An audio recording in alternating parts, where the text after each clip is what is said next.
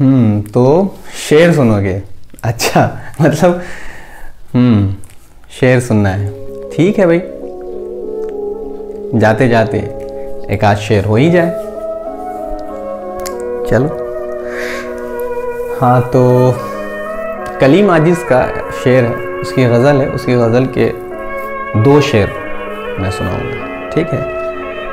कहता है कि सुलगना और शय है, जल के मर जाने से क्या होगा?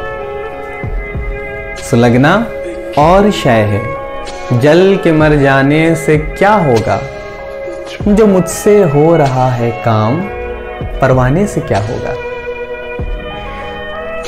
अरे, रुक जाओ यार, रुक जाओ रुक जाओ रुक जाओ रुक जाओ हाँ वाह वाह। अभी अभी आने वाला है एक और बम फूटेगा, देख। मेरा कातिल उन्हें कहते हैं सब और ठीक कहते हैं। मेरा कातिल उन्हें कहते हैं सब और ठीक कहते हैं। कसम सौ बार वो खाएँ, कसम खाने से क्या होगा? कसम सौ बार वो खाएँ, कसम खाने से क्या होगा? सुलगना और शय, जल के मर जाने से क्या होगा? ठीक है। हाँ। कातिल, है? अब बहुत सारे है ना? एक एक दो कातिल हो तो कोई बात भी हो। ठीक है। चलो ठीक है यार। हाँ फिर कभी चर्चा करेंगे। चलो चलो। ओवर